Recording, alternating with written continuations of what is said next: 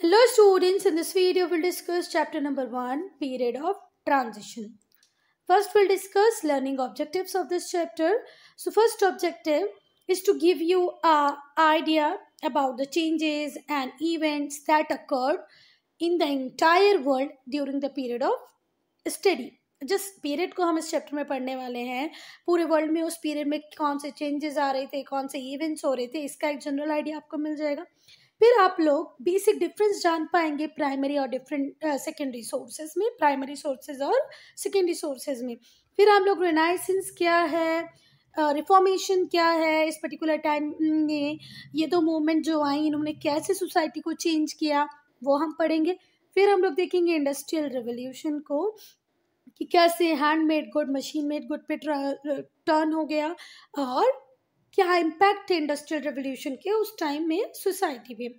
फिर हम लोग देखेंगे इम्पेरियलिज्म इम्पेरियलिज्म का मतलब होता है साम्राज्यवाद। और टेक्नोलॉजिकली साइंटिफिकली डेवलप्ड कंट्री छोटी छोटी कंट्री ये लोग निकली और इन्होंने बहुत बड़ी बड़ी कंट्रीज़ को अपनी कॉलोनीज बना लिया।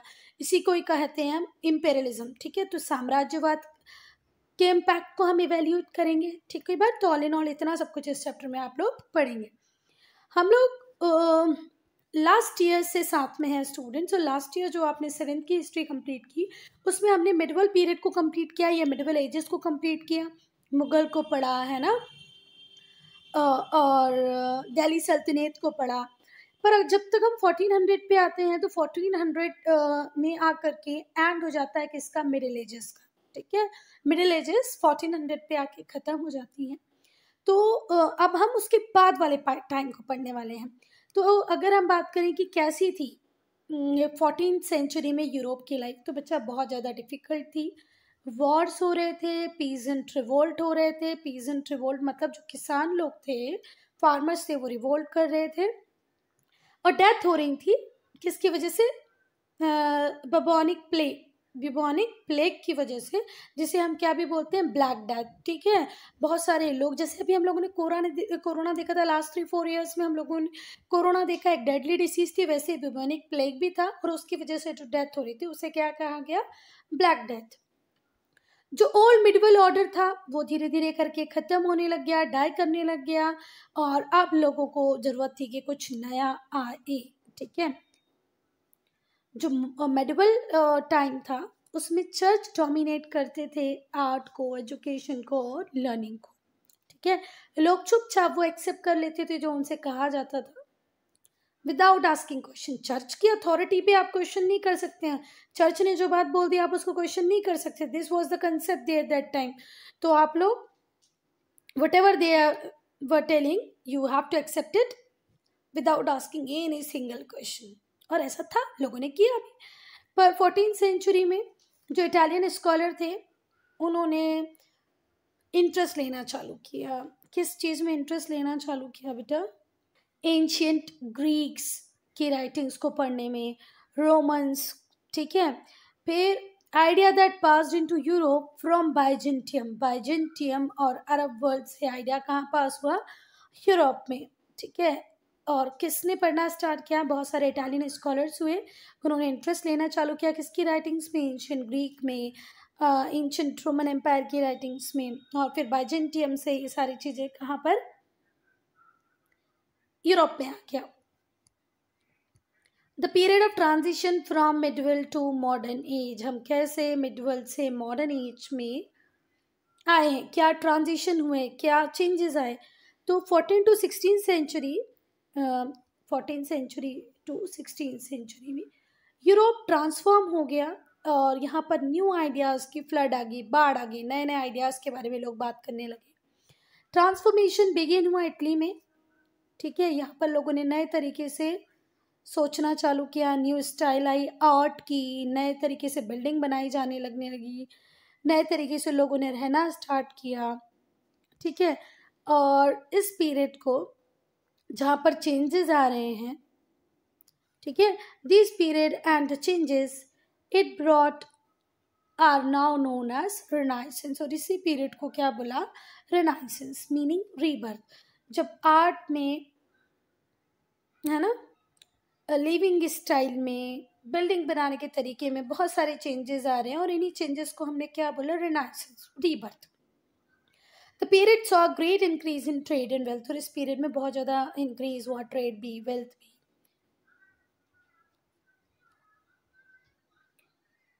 जो रिनाइसेंस था बच्चा, उसने आर्ट को साइंस को आर्किटेक्चर को स्कल्पचर को, सभी को इफ़ेक्ट किया।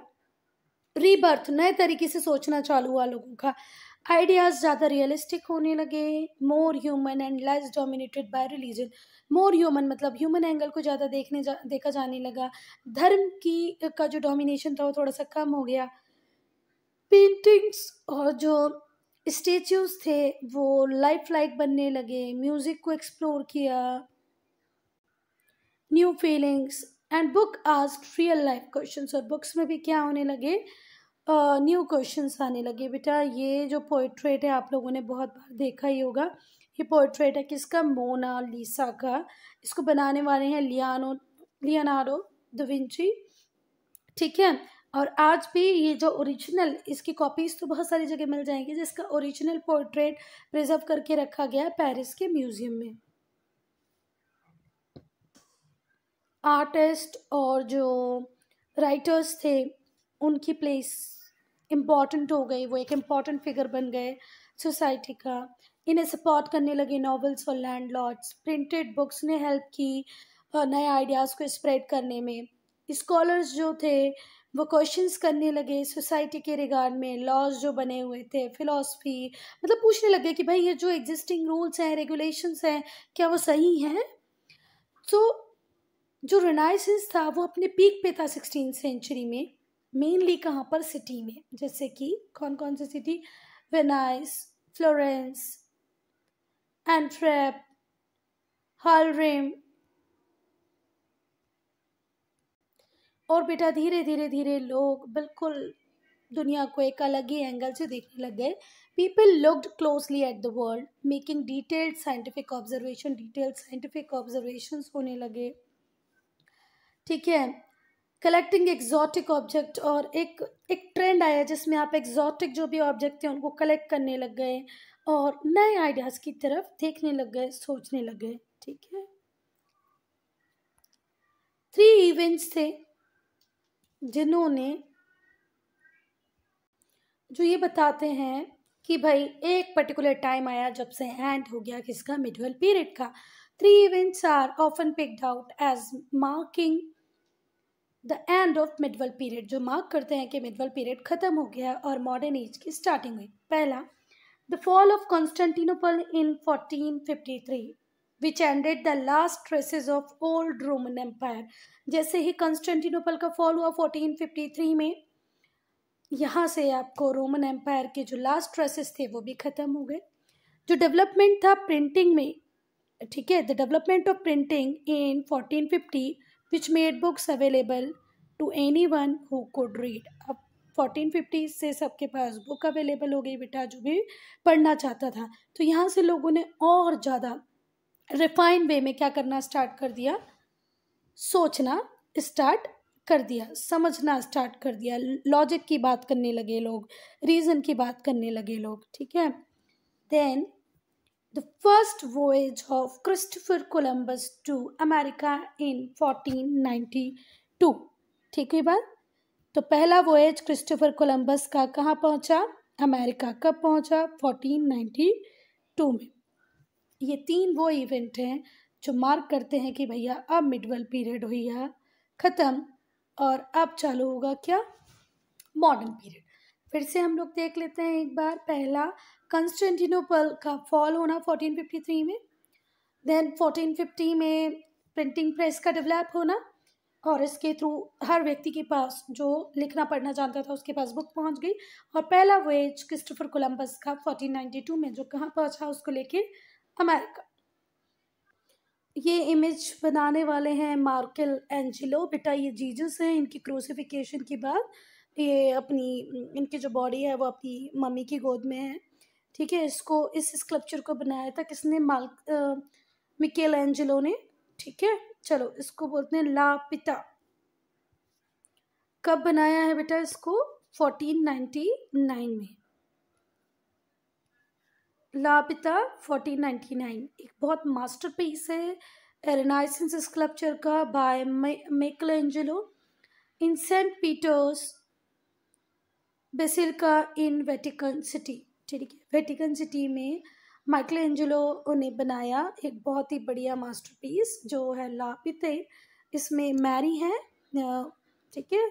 मैरी के जो लैप है, उनकी जो गोद है, उसमें जीजस है। आफ्टर क्रूसिफिकेशन जब उनको सूली पे चढ़ा दिया था, उसके बाद का, ठीक है? It is also important work as it balance the renaissance ideal of classical beauty with naturalism ये एक इंपॉर्टेंट वर्क है जो बैलेंस बनाता है रेनाइसेंस के आइडिया और नेचुरलिज्म के बीच में।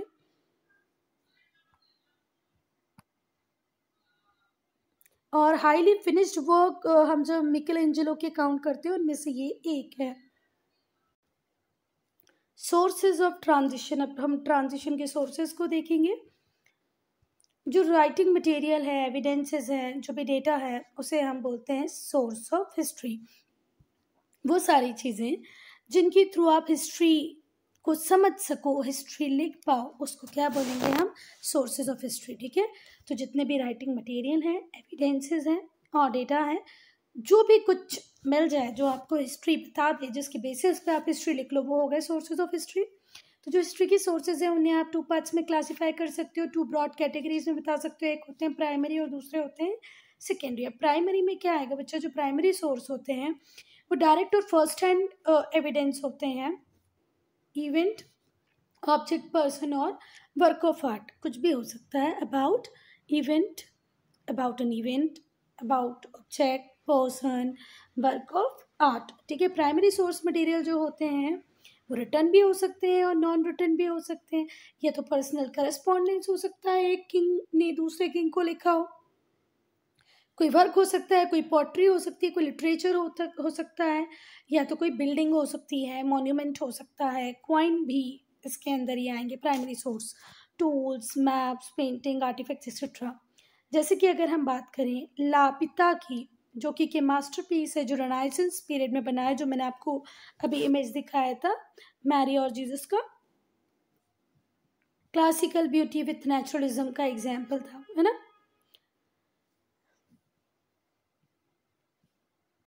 गेराडस मार्केटर गेराडस मार्केटर एक फ्लैमिश कार्टोग्राफर थे। कार्टोग्राफर कौन लोग होते हैं बच्चा? जो मैप बनाने के आर्ट को जानते हैं। गेराडस मार्केटर फ्लैमिश कार्टोग्राफर थे। Created the first effective way of showing the world as a sphere on a flat धरती गोल है। गोल मतलब राउंड है। उस राउंड पे सारे कॉन्टिनेंट है ओशन है, उसको फ्लैट सरफेस पे कैसे दिखाया जाए? इसकी पहली कोशिश की गेराडस मार्केटर ने। Mercator map of the world became the model of all map फिर जो मार्केटर ने जो मैप बनाए, जिन्हें हमने मिकेटर मैप कहा, वो वर्ल्ड के लिए मॉडल की तरह काम किए और अकॉर्डिंग और ऑन दैट बेसिस सारे मैप बने। ठीक है? तो कौन होंगे बच्चा जिन्होंने बहुत अच्छे तरीके से स्पेयर को फ्लैट सरफेस पर ट्रांसफ़र करने की बात की गेराडस मार्केटर ठीक है? और इन्होंने जो मैप बनाया, उन्हें क्या बोला गया? Mercator map sundial graphic illustrations compass sundial वो ऐसे मशीन ऐसे नहीं होता है? आप स्टिक को इस तरीके से लगा देते हो, एक इसके ऊपर, फिर जैसे जैसे इस स्टिक की, क्या आती है? शेडो उसके अकॉर्डिंग जो काम करता है। Sundial graphic illustration compass ये कुछ इंपॉर्टेंट प्राइमरी सोर्सेज थे रोनाइसिस हिस्ट्री के।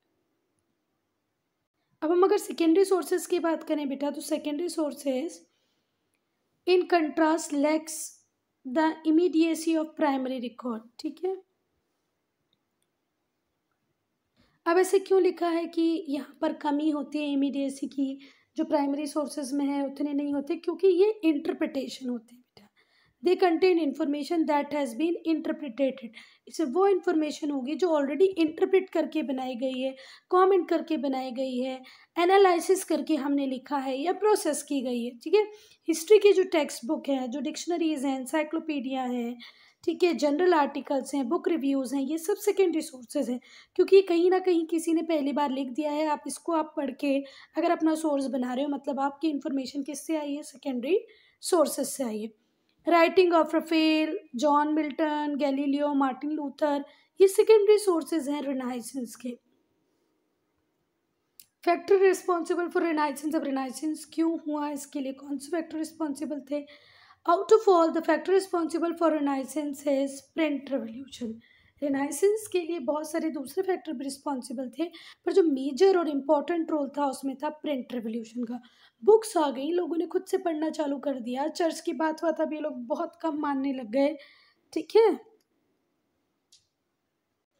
तो पहला प्रिंट फ़र्स्ट हम लोग डिस्कस करेंगे पहला रेनाइसेंस में वे कौन सा फैक्टर काम कर रहा था, वो काम कर रहा था प्रिंट ठीक है तो प्रिंट ने क्या किया बेटा? जितने भी एनलाइटेड हमारे थिंकर्स थे, जिन्होंने ज्ञान की प्राप्ति कर ली थी जिन्हें एनलाइटनमेंट मिल गया था, उनके जो आइडियाज़ थे, उनको पॉपुलराइज किया गया किसके थ्रू प्रिंट के थ्रू कलेक्टिवली जो इनकी राइटिंग थी, वो क्रिटिकल कमेंट्री देती थी ट्रेडिशन के ऊपर सुपरस्टिशियस के ऊपर डेस्पोटिज्म के ऊपर ट्रेडिशन मतलब जो भी रीति रिवाज चलते आ रहे हैं सुपरस्टिशियस रूढ़ीवादी प्रथाएँ डेस्पोटिज्म जो था, उसके ऊपर एक कमेंट्री देती थी। जैसे जो राइटिंग थी वोल्टायर की रूसो की रीड वाइडली लोगों ने बहुत पढ़ा इनको, ठीक है? और लोगों ने इनकी बुक्स को पढ़ के दुनिया को एक नए तरीके से देखना स्टार्ट कर दिया क्वेश्चन करना चालू कर दिया क्रिटिकली लोग सोच रहे हैं रैशनल की बात कर रहे हैं रीज़न की बात कर रहे हैं, और यहाँ से लोगों की लाइफ में ट्रांसफॉर्म होना स्टार्ट हुआ। उनके रिलेशनशिप बदल गए, ठीक है? इंफॉर्मेशन नॉलेज के बारे में वो सोचने लगे, ठीक है? इंस्टीट्यूशन अथॉरिटीज़ कैसी हो, कैसी नहीं हो। तो पहले वो अथॉरिटीज़ और इंस्टीट्यूशन की बिना सोचे समझे जो बात मान लेते थे, अब वैसे नहीं हो रहा है। इंफॉर्मेशन नॉलेज से उनका जो रिलेशनशिप था वो बदल गया। जो पॉपुलर परसेप्शंस बने, उन्होंने नए तरीके से चीज़ों को देखने की राह दिखाई। सेकेंड प्रिंट ने कल्चर क्रिएट किया है डायलॉग का और डिबेट का। तो हम लोग बोल रहे हैं कि रिनाइसिस में इम्पोर्टेंट रोल किसका ही था बेटा प्रिंट का? जितनी भी वैल्यूज़ थी, नॉर्म्स थे, इंस्टीट्यूशंस थे, उनको रीएवेल्यूट किया गया, पब्लिक में उनको डिस्कस किया गया, ठीक है? रीज़न के पावर को समझाया। क्वेश्चन होने चाहिए, जो भी आइडियाज़ अभी हैं, जो बिलीव्स अभी हैं, उनके ऊपर क्वेश्चन करने में कोई बुराई नहीं है, ऐसी बातें डिस्कस की जाने लगी। और जो पब्लिक कल्चर था न्यू आइडियाज़ का, उसने सोशल रेवोल्यूशन लेके आया। थर्ड सेवनटीन एटी में लिटरेचर इतना ज़्यादा हो गया, इतना ज़्यादा हो गया। कौन सा वाला लिटरेचर इतना ज़्यादा हो गया? वो जो राजा को रॉयल्टी को क्रिटिसाइज कर रहा था, उनकी मॉरलिटी की बात कर रहा था, उनके डेस्पोटिज्म की बात कर रहा था। ठीक है? लार्ज एरिया था वर्ल्ड का। जो कम्प्लीटली अननोन था मिडवल यूरोप से। तो फोर्टीन फिफ्टीन में फोर्टीन फिफ्टी से कंपटीशन लग गया सबके बीच में कि हमें नए नए रास्ते खोजने हैं, नए इन्वेंशन करने हैं डिस्कवरीज करनी है मैप बनाने की कला में थोड़े इम्प्रूवमेंट्स लाने हैं, ठीक है? और नेविगेशन करना है, नदियों में, पानी में ओशन में बैठ के कहीं से कहीं तक जाना है सिक्सटीन हंड्रेड तक बहुत सारी यूरोपियन कंट्रीज़ ने परमानेंट कॉलोनीज़ बनाना चालू कर दिया था ओवरसीज़। सिक्सटीन टेन में तो ईस्ट इंडिया कंपनी इंडिया आ चुकी थी, अपने आप को एस्टेब्लिश कर चुकी थी। इस टाइम में बहुत सारे आइडियाज़ थे, न्यू आइडियाज़ आए जिन्होंने ओल्ड बिलीव्स को चैलेंज करना स्टार्ट किया। जो रिलीजियस धर्म में जो डिफरेंस था, उसके बीच में विटर बॉर्स होने लगे। एक एक धर्म को प्रमोट कर रहा है, एक दूसरे धर्म को सपोर्ट कर रहा है और दोनों के बीच में लड़ाइयाँ चालू हो गई। ये जो पावर स्ट्रगल था बिटवीन किंग्स एंड पार्लियामेंट लोग चाह रहे थे कि पार्लियामेंट आए डेमोक्रेटिकली इलेक्शंस हों। किंग चाह रहा था ऐसा कुछ भी ना हो। तो जो डेमोक्रेटिक गवर्नमेंट थी स्लोली स्लोली डेवलप करने लगी। फिफ्टीन हंड्रेड्स में तो there were startling advance in science science inventions होने लगे टेलीस्कोप बन गया माइक्रोस्कोप बन गया तो न्यू वंडर्स की बात होने लगी न्यू क्वेश्चंस आने लगे, जो बहुत महान साइंटिस्ट थे जैसे कोपरनिकस गैलीलियो न्यूटन उन्होंने ओल्ड आइडियाज़ को चैलेंज किया। और एक नई फ्रीडम आ गई जिसमें आप जो भी सोचना चाहें सोच सकते हो, और इसने एक नया फाउंडेशन रखा सोसाइटी के लिए। जो रिनाइसेंस था, वो एंक्वायरी की बात करता है। लेड टू रिलीजियस रिफॉर्म और जब आप हर चीज़ में इंक्वायरी क्वेश्चन पूछने लगे तो धर्म में भी रिफॉर्म हुए, सुधार हुए। ठीक है कैथोलिक चर्च जो बहुत ही ज़्यादा मतलब क्या बोले, एक बेकार सिस्टम बन गया था, उस सिस्टम में भी रिफॉर्म हुए, सुधार हुए। एक मूवमेंट जो चलाई मार्थिन लूथर ने, जो क्रिश्चियन प्रीस्ट ही था, उसे कहा गया reformation this movement led by Martin Luther देखो हर फ़ील्ड में तो चेंजेस आ ही रहे थे, पर अब चेंजेस किसमें भी आ रहे हैं बच्चा? रिलीजन में आ रहे हैं, कैथोलिक चर्च में आ रहे हैं, और इस मूवमेंट को लेड करने वाले कौन थे? मार्टिन लूथर, एक क्रिश्चियन प्रीस थे वॉज़ कॉल्ड रिफॉर्मेशन और इसी प्रोसेस को क्या कहा उन्होंने? रिफॉर्मेशन मीन्स जब आप अपने रिलीजियस रिफॉर्म लेके आ रहे हो, फिर आया इंडस्ट्रियल रेवोल्यूशन सेवनटीन और एटीन सेंचुरी में जो मर्चेंट थे वो टाउन्स में यूरोप के कहाँ मूव करने लग गए? कंट्री साइड में। जो टाउन्स में जो थे, merchants from towns in Europe, पहले जो शहरों में काम कर रहे थे, वो गाँव की तरफ़ कंट्री साइड मतलब विलेजेस की तरफ़ चले गए। पीजेंस को आर्टिशंस को पैसा देने लगे और उनको परस्यू करते कि आप भैया प्रोड्यूस करो इंटरनेशनल मार्केट के लिए। मतलब जो शहरों में जो ट्रेडर्स थे, अब वो कहाँ जा रहे हैं? विलेजेस में। ठीक है? कंट्री साइड में और वहाँ पर आर्टिशंस और पीजन से बोल रहे हैं कि प्लीज़ ये पैसा वैसा ले लो हमसे और इंटरनेशनल मार्केट के लिए प्रोडक्शन स्टार्ट कर दो। फिर जैसे ही एक्सपांशन हुआ वर्ल्ड ट्रेड का कॉलोनीज़ को एक्वायर करने का एक सिस्टम चालू हो गया कि वर्ल्ड के डिफरेंट डिफरेंट पार्ट में अलग अलग कॉलोनीज़ बनाएँगे। गुड की डिमांड बढ़ने लगी, पर अभी मोस्ट ऑफ़ द प्रोडक्शन कैसे ही हो रहा था? मैनुअली हाथों से ही लोग बना रहे थे। फिर धीरे धीरे जब साइंटिफिक इन्वेंशंस हुए, नई डिस्कवरीज आई तो एटीन सेंचुरी में एक वो टाइम भी आ गया जहाँ पर मैनुअल वर्क को किसने रिप्लेस कर दिया? फैक्ट्री में गुड्स ने। चलो। Towards the end of eighteen century जब एटीन सेंचुरी ख़त्म हो रही थी नाइनटीन सेंचुरी बिगिन हो रही थी तो गुड्स की डिमांड बहुत ज़्यादा बढ़ गई। इसने मैनुअल वर्क को मशीन वर्क में चेंज कर दिया। और जो डोमेस्टिक सिस्टम था प्रोडक्शन का काय में कन्वर्ट हो गया? फैक्ट्री प्रोडक्शन सिस्टम में। अब हम बात करेंगे industrial revolution began in England in 1750 during 1600 overseas exploration had open new market for England जो ओवरसीज एक्सप्लोरेशन कर रही थी, उनकी शेप्स उससे नई नई जगह मिल गई तो नया मार्केट मिल गया इंग्लैंड को 1600 में। और and led to a thriving economy based on money और अब जो उनकी इकोनॉमी थी, वो किस पे बेस हो गई? मनी पे. ये नए नए जगह ट्रेड करने जाने लग गए। नए नए फाइनेंशियल इंस्टीट्यूशन बन गए, जैसे कि बैंक जो लोन देने लग गए, दूसरे लोगों को, जिससे कि इंडस्ट्रियल ग्रोथ और ज़्यादा बढ़ गई।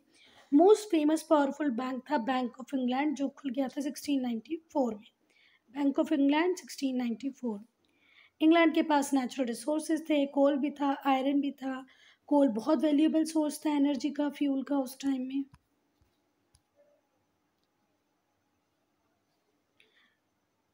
मशीन है आयरन है, इन सब का यूज़ होने लगा। मशीनरी के लिए भी कोल चाहिए था। एक देख लेते हैं क्या लिखा energy to fuel machinery machinery को फ्यूल करने के लिए कोल का यूज़ हो रहा है। फिर आयरन का यूज़ हो रहा है मशीन्स बनाने में and products such as tools and cookware तो आयरन भी था इंग्लैंड के पास और कोल भी था इंग्लैंड के पास। साइंटिफिक इम्प्रूवमेंट होने लगे फ़ार्मिंग में। 1700 में जो एग्रीकल्चर रेवोल्यूशन आया, जिससे इंडस्ट्रियल रेवोल्यूशन के लिए एक बेस बना। देखो इंडस्ट्रीज़ को फ़ीड कराने के लिए रॉ मटेरियल चाहिए तो वो रॉ मटेरियल कहाँ से मिलेगा? आपको एग्रीकल्चर से तो आपके एग्रीकल्चर का स्ट्रॉन्ग होना बहुत ज़्यादा ज़रूरी है।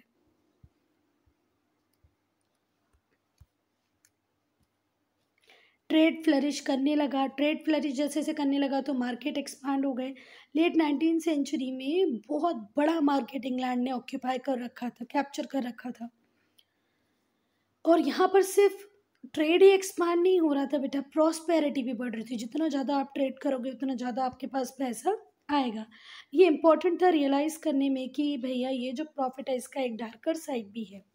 बहुत सारे पार्ट में वर्ल्ड की जो एक्सपांशन हो रहा था ट्रेड का, उसका क्लोज रिलेशनशिप था वर्ल्ड की इकोनॉमी से और लॉस ऑफ़ फ्रीडम से भी चाइल्डहुड लाइवलीहुड से भी। ठीक है? वर्ल्ड की इकोनॉमी तो बढ़ रही है, पैसा आ रहा है, पर लोगों की फ्रीडम भी ख़त्म हो रही है।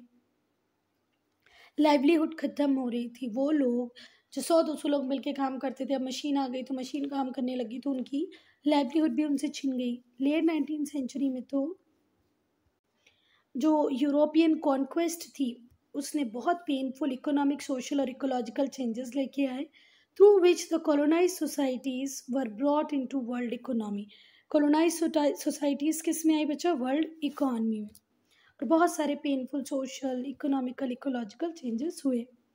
क्या इम्पैक्ट हुआ इंडस्ट्रियल रेवोल्यूशन का? No other development in human history has had such far reaching and world wide impact industrial revolution के पहले किसी भी ह्यूमन हिस्ट्री में, पूरी ह्यूमन हिस्ट्री में किसी और डेवलपमेंट का इतना इफ़ेक्ट नहीं हुआ है, जितना किसका हुआ? इंडस्ट्रियल रेवोल्यूशन का हुआ।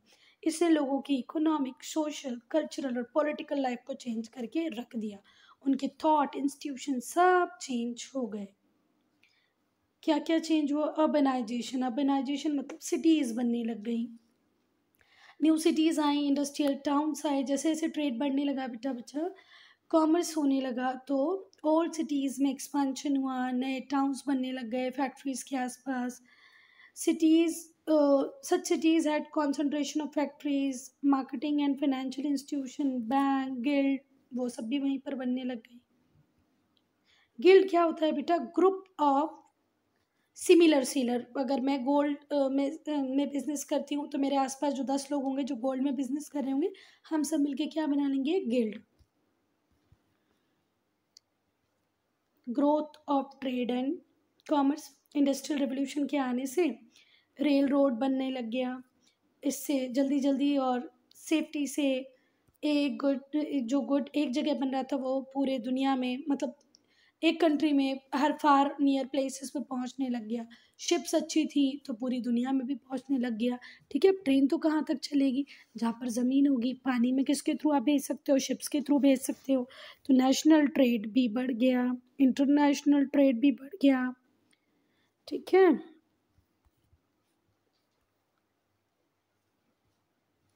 General prosperity due to mass production और बेटा, क्योंकि आप किसी चीज़ को जब बहुत बल्क में प्रोड्यूस करते हो तो उसका जो फाइनल प्राइस होता है, वो होता है चीप ठीक है? लार्ज स्केल पे प्रोडक्शन हो रहा था तो क्वालिटी आइटम चीपर रेट्स पे मिल रहे थे. Most of the good goods come within the reach of the people और अब लोग खरीद पा रहे थे गुड्स को, क्योंकि उसकी प्राइस हो गई थी कम. Slums overcrowding and poor housing conditions obviously बात है, जब गाँव से शहर लोग काम करने आएँगे तो अपने साथ बड़े बड़े घर तो लाएँगे नहीं। वो जो गे, झोपड़ी बनाएँगे और वहाँ पर रहने लगेंगे। यूजुअली जो फैक्ट्री थी, वो कोल फ़ील्ड के आसपास होती थी या सी पोर्ट के आसपास होती थी, जहाँ पर ज़्यादा टेंशन नहीं होता था सूटेबल हाउसिंग प्रोवाइड करने पे। तो जो इंडस्ट्रियल वर्कर होते थे, वो समहाउ मैनेज करते थे छोटा मोटा जो भी कुछ बना लिया और रहने लग गए। तो workers in the town lived in overcrowded localities जहाँ पर ना ही तो प्रॉपर सैनिटेशन होता था, ना ही तो ड्रेनेज बेटा वर्कर्स का भी भरपूर एक्सप्लॉयटेशन हुआ है, ठीक है? हार्श वर्किंग कंडीशन होती थी वेजेस उनको इनएडिकेट बहुत कम मिलते थे, ना कि बराबर मिलते थे। औरतें और बच्चे भी काम करने आते थे, वो भी बहुत कम वेजेस में। फिर सेकेंड इम्पीरियलिज्म इम्पीरियलिज्म मैंने बताया था ना, साम्राज्यवाद। अब हर कंट्री को लगने लगा था कि मुझे मेरी बाउंड्रीज को बढ़ाना है नई नई कॉलोनीज बनाना है। तो जो इंडस्ट्रियल रेवोल्यूशन था उसने कैपिटलिज्म को जन्म दिया राइज टू कैपिटलिज्म कैपिटलिज्म क्या है? सिस्टम ऑफ़ इकोनॉमी जहाँ पर एक प्राइवेट इंडिविजुअल को पूरा राइट होता है कि वो अपने हिसाब से मार्केट को रन करे बिज़नेस को रन करे। ठीक है, जो फैक्टर ऑफ़ प्रोडक्शन होंगे, जब वो प्राइवेट लोगों के कंट्रोल में होंगे तो उसी को क्या बोलेंगे? कैपिटलिज्म बड़े बड़े इंडस्ट्रियलिस्ट गुड प्रोड्यूस करने लगे, बहुत बड़े स्केल पे, सस्ते दामों में और converted the worker into mere wage earner जो वर्कर था, वो क्या बन गया? मियर वेज अर्नर ठीक है जबकि जो फैक्ट्री ओनर्स थे, उनको बम्पर प्रॉफिट मिल रहा है, बहुत बड़ा एक अमाउंट मिल रहा है प्रॉफिट का। दूसरा इम्पैक्ट था इंडस्ट्रियल रेवोल्यूशन का कैपिटलिज्म और कैपिटलिज्म से क्या है? एम्पीरियलिज्म एम्पीरियलिज्म देखो कैपिटलिज्म क्या होता है? पूंजीवाद. ठीक है? एक व्यक्ति आया मार्केट में उसने बिज़नेस क्रिएट किया, दस लोगों को जॉब दी और दस लोगों को बहुत कम सैलरी दी और खुद का प्रॉफिट बहुत बढ़ा लिया। ये हो गया क्या? कैपिटलिज्म पर कैपिटलिज्म से एक और नेगेटिव चीज़ आई जो थी इम्पेरियलिज्म जैसे जैसे रॉ मटेरियल की डिमांड बढ़ने लगी, क्योंकि फैक्ट्री को तो कंटिन्यू क्या चाहिए? कुछ ना कुछ दोगे इनपुट तभी तो वो आउटपुट देगी। तो नई नई कॉलोनीज ढूँढने लगे। क्यों? क्योंकि अब रॉ मटेरियल के लिए अब इंग्लैंड कितना ही रॉ मटेरियल सप्लाई कर पाता। अब उसे नई नई कॉलोनीज चाहिए थी जो उसे क्या दे? रॉ मटेरियल दे। और फिर यहीं से कॉम्पिटिटिव इम्पीरियलिज्म की बात होने लगी। इम्पीरियलिज्म वो सिस्टम था जहाँ पर एक रिच और एक पावरफुल कंट्री कंट्रोल करती थी। इवन कई बार ऑक्यूपाई भी कर लेती थी दूसरी कंट्री को, उस कंट्री के नेचुरल रिसोर्सेज को। क्यों? For the development of their own country own economic और इंडस्ट्रियल बेनिफिट के कारण हम दूसरी कंट्री को क्या करने लगे? धीरे धीरे करके एक्सप्लॉयट करने लगे। जो कैपिटलिस्टिक कंट्री थी, उन्होंने नए मार्केट की तलाश चालू कर दी, जहाँ पर वो अपने प्रोडक्ट को भी सेल कर पाए। तो ये जो छोटी छोटी कॉलोनीज थी, ये दोनों पर्पज़ पूरा करती थी। एक तो यहाँ पे इंडस्ट्रियलाइजेशन था, नहीं तो इनसे रॉ मटेरियल ले लो और फिर गुड्स बना के इन्हीं को बेच दो। They not only capture the market in a country but the country itself market को कैप्चर नहीं करते, पूरी कंट्री को कैप्चर कर लेते। जैसे इंग्लैंड ईस्ट इंडिया कंपनी शुरुआत में जब इंडिया में आई थी तो उसे क्या चाहिए था? हमसे स्पाइस कॉटन पर बाद में तो उसने हमको पूरी तरह लूट लिया। हमारे ऊपर डोमिनेट किया डोमिनेशन किया, दो सौ साल, ढाई सौ साल हमारे ऊपर रूल कर दिया। The scramble for newer colonies arose और अब सब में इच्छा जागृत होगी नई नई कॉलोनी बनाना है। क्यों? क्योंकि कॉलोनी हमें रॉ मटेरियल भी देगी, साथ ही साथ हमारे फिनिश्ड गुड्स को भी हम वहाँ पर डंप कर देंगे, इस सोच के साथ सब लोग कॉलोनी बनाने निकले। 1817 से 1914 एडी तक ऑलमोस्ट एशिया की, अफ्रीका की बहुत सारी कंट्रीज़ किसी ना किसी इम्पीरियल पावर के कंट्रोल में थी। और ये इम्पीरियल पावर भगवान की कृपा से सारी यूरोपियन ही थी। इंडिया भी कंट्रोल में साउथ अफ्रीका भी कंट्रोल में है, फिर यूएसए भी कंट्रोल में है कनाडा भी कंट्रोल में, और इन सब का कंट्रोलर कौन है? कहीं ना कहीं Europe imperialism in South Asian countries. South east Asia command the sea lanes जैसे इंडिया है, चाइना है, इन दोनों के बीच का जो सी लेंस है, उनको साउथ ईस्ट एशियन कमांड करते थे। तो fifteen hundred from the fifteen hundred to the seventeen hundred जो यूरोपियन मर्चेंट्स थे, उन्होंने एक फुट होल्ड गेन कर लिया साउथ ईस्ट एशिया में। But most of the area पर जो ज़्यादा से ज़्यादा एरिया था, पर अभी भी बहुत बड़ा जो पार्ट था, वो इंडिपेंडेंट ही था। एटीन हंड्रेड में क्या हुआ student this changed in the eighteen hundred eighteen hundred में वो सब चेंज हुआ जो वेस्टर्नर्स नोटेबली थे। कौन कौन? डच हो ब्रिटिश हो फ्रेंच हो, इन्होंने मैनिपुलेट किया लोकल राइवलरीज को। जैसे इंडिया में हम देखें कि मराठास और मुग़ल के बीच में लड़ाई हो रही है तो लोकल राइवलरी का इन लोगों ने फ़ायदा उठाया। मॉडर्न आर्मीज टेक्नोलॉजी की हेल्प से मैक्सिमम साउथ ईस्ट एशिया को कॉलोनाइज कर लिया। Colonisation of the region brought mixed result mixed result मिले इनको कॉलोनाइजेशन के। इकोनॉमीज ग्रो करने लगी कैश क्रॉप पे बेस्ड जो इकोनॉमीज थी, वो ग्रो करने लगी। That could be sold in the world market अब इन लोगों ने इंडिया में आके जहाँ जहाँ भी कॉलोनी बनाई, कौन सी क्रॉप को ग्रो कराना चालू कर दिया? कैश क्रॉप को। हमसे तो इन लोगों ने इंडिगो वो इंडिगो का मतलब होता है नील। आया नया उजाला, चार बूंदों वाला, वो ग्रो कराना चालू कर दिया, क्योंकि उसके वर्ल्ड मार्केट में बहुत डिमांड थी। बोल रहे हैं कॉटन ग्रो करो राइस ग्रो मत करो तो चलेगा, पर फिर हमारी फ़ूड डिमांड कैसे पूरी होगी? इससे उन्हें कोई मतलब नहीं था। इनको तो सिर्फ़ क्या चाहिए थी हमसे? कैश क्रॉप रोड्स हार्बर्स बनने लगे रेल का सिस्टम बन गया तो अब कुछ लोग बोलते हैं कि अगर ब्रिटिशर्स नहीं होते तो इंडिया में रेल नहीं बनती। तो भाई उन्होंने रेल हमारे लिए थोड़ी नहीं बनाई, उन्होंने तो अपने म्यूचुअल बेनिफिट के लिए बनाई। कम्युनिकेशन लाइन डेवलप कर दी ट्रांसपोर्टेशन पर सिर्फ़ और सिर्फ़ ये क्यों किया? क्योंकि वो यूरोप बिज़नेस को बेनिफिट देना चाहते however education health and sanitation improve हुआ। फिर भी हम ये बोल सकते हैं भाई कि इन्होंने कुछ नहीं तो थोड़ा सा एजुकेशन में हेल्थ में सैनिटेशन में इम्प्रूवमेंट किया। इनके जो कॉलोनियल एरियाज़ थे, ठीक है millions of people from other areas of Asia and the world migrated to work on plantation इन लोगों ने इंडिया से श्रीलंका से त्रिनिदाद से बहुत सारे लोगों को प्लांटेशन में काम करने भेज दिया। ठीक है? And in the minds of south east Asia जो माइंड में काम करने भेज रहे हैं, कहीं और काम करने भेज रहे हैं तो ऑल इन ऑल बहुत अच्छा टाइम नहीं स्टार्ट हो रहा था। हम आगे के चैप्टर्स में देखेंगे कि किस तरीके से इंडिया को एक्सप्लॉयट किया किसने? Britishers student I am in this here only you any doubt any problem to write in comment section